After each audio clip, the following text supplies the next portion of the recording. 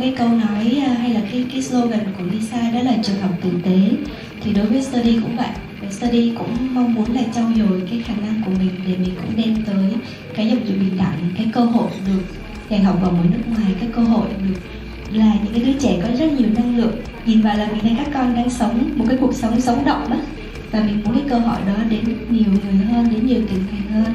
À, cho nên là cái cái cái xuất phát điểm đó là mình cho mình cái trái tim của mình được gặp cùng những cái người à, có cùng cái trái tim và khối óc mà đồng hành cùng với mình và mình catch cái năng lượng đó rất là nhanh. Sẽ thân tình một chút uh, với các quý vị đối tác và khi các em có được cái sự đồng hành cùng các như là các anh chị và các thầy cô á, thì các em cảm thấy như mình đang ở nhà hơn là các em đang cảm thấy ở trên trường. Thì các em luôn luôn và ở nhà ở đây thì mình vẫn có cái sự kỷ luật đó. Mình vẫn có cái sự kỷ luật và mình vẫn có cái sự quan sát cùng với các em. Mình quan sát và mình đưa lại góc nhìn. Thì khi mà các em thấy được cái góc nhìn đó từ thầy cô hay là các anh chị, thì các em cũng hiểu được rằng à mình cũng được lắng nghe và mình cũng được hiểu được rằng là mình có quyền để được chia sẻ, mình có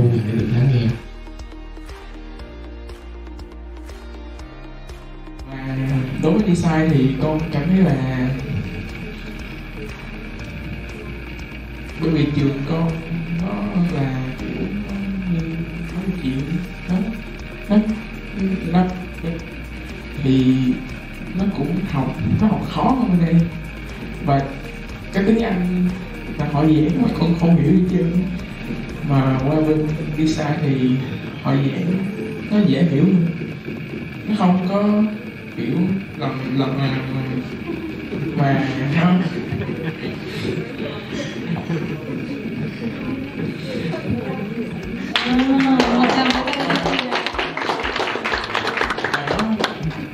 rất là dễ hiểu. Và cho học sinh trải nghiệm đó. Học sinh không hiểu thì có thể thì thì thầy thầy cô giáo có thể explain lại thì nói chung là học đi sai. Nó rất là tốt. Kiểu hiện tại con đang học ở design và con cảm thấy nó rất hợp với mình. Bởi vì con thích nhất là môn tiếng Anh và đối với con hồi xưa con là kiểu con rất khác. Cho các bạn các bạn từ đây bạn về các bài hát về tiếng Việt, như là ca sĩ tiếng về người Việt nhưng thì con chỉ có mình con rất là thích các bài hát tiếng Anh bởi vì nó từng giai điệu và từng bài hát, từng câu hát con đều có thể nghe và hiểu rõ. Nhưng đối với các bạn thì nó là không. Khi trên cái trường, các cô dạy thì con lại không hiểu cái gì cả. Về lúc làm bài tập thì con lại làm thành đứng là dưới luôn, không hiểu gì hết. Bởi vì nên các bạn cho con là một người giám thị rồi thầy gọi con là thì kẻ đó mình cuộc ấy. Nhưng khi học đi sai, con cảm thấy mình rất là hợp luôn bởi vì cách dạy của họ rất là đúng với ý con. Nó không có một kỳ ranh khuôn hay là một cái gì, hay là bị theo cái khuôn mẫu đó, nó rất là tự do phóng khoáng và con có thể dễ hiểu hơn. Và giúp cho con tự giúp con cảm thấy mình mình vừa bước vào một trang mới, nhưng bước vào một trang mới thay vì học ở trường, học ở trường sẽ khiến con cảm thấy căng thẳng và rồi học trước những bài thi, nhưng học với design sẽ giúp con như là một bản thân mới làm cho con cảm thấy mình đang được là chính mình. Là một bạn 9 tuổi nhưng mà bạn lại chọn tiếng Anh là ngôn ngữ chính. Dạ. Yeah. và tiếng Việt của bạn ấy nó, nó rất là buồn cười. Nhưng mà bạn ấy luôn luôn mong muốn được học mọi thứ bằng tiếng Anh. Yeah. và bạn ấy cũng tự phát triển cái ngôn ngữ của bạn một cách thần kỳ cũng không có tác động gì. Nhưng mà thật sự luôn là để mà chọn một cái chương trình quốc tế đơn ngữ tại Việt Nam rồi nó cái chi phí nó rất là choáng váng. Dạ, thật sự không nếu mà để bảo là cho con từ 500 triệu đến 1 tỷ, một năm để đi học thì thật sự là em em là đâu không thể. Tại vì nó nó quá sức mà nó cũng không, chắc là mang lại kết quả kỳ vọng cho em. Thật sự là nên cuối cùng là em chọn cho con em một môi trường giáo dục khai phóng, tại vì em biết là cái khai phóng rất là quan trọng, để con em không bị à, áp đặt trong cái chuyện suy nghĩ tư duy. Yeah. nhưng mà em vẫn đau đáu cái chương trình nước ngoài, chương trình bạn ấy chưa từng bao giờ đi học ở bất cứ một cái trung tâm tiếng Anh nào hết. Đấy. cho đến khi bạn gặp visa đây là cái chương trình đầu tiên. Và khi mà bạn ấy làm một cái bài test để kiểm tra đầu vào á, với visa em rất là hồi hộp em biết là bạn ấy có ở mức nào á. Thì lúc đầu em lại nghĩ rằng là em cho bạn ấy chọn môn toán. Đấy. và bạn ấy pass luôn là bạn bạn chính tuổi nhưng mà bạn pass cái NS1 toán. Dạ.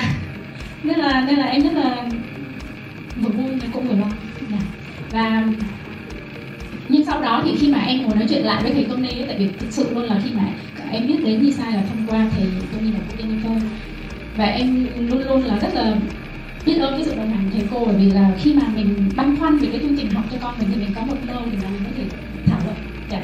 Và thầy Tony và em cũng ngồi lại và em có nói là thôi bây giờ mình à, em muốn là cả hai bạn và cả bạn anh cũng được đi ra chứ không một mình bạn em. Dạ.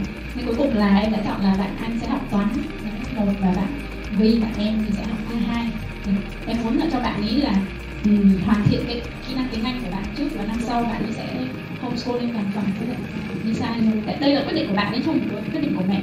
Đấy. Thì tại vì trong quá trình bạn học là em luôn luôn hỏi con là con cảm thấy như thế nào?